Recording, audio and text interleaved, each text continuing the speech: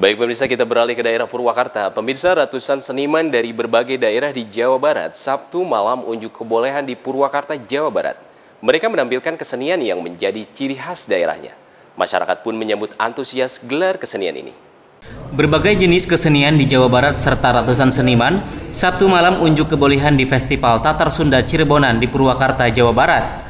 Acara yang digelar dalam rangka ulang tahun Purwakarta yang ke-184 dan 47 tahun ini disambut antusias oleh masyarakat. Para seniman dari berbagai daerah seperti Garut, Bandung, Subang, Cirebon, serta beberapa daerah lainnya menampilkan kesenian yang menjadi ciri khas daerahnya, seperti jaipong, lenong, dan wayang golek, serta reog Sunda. Dini, salah seorang warga Purwakarta berharap Festival Tatar Sunda Cirebonan ini bisa menjadi wahana mengenalkan kesenian daerah pada generasi muda. Nah, pendapatnya gimana dengan kesenian atau acara seperti ini? Bagus, jadi ada apa jadi banyak ramai juga sekarang.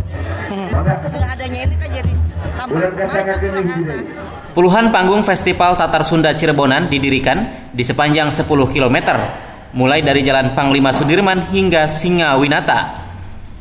Dari Purwakarta, Roni Kemuning TV melaporkan.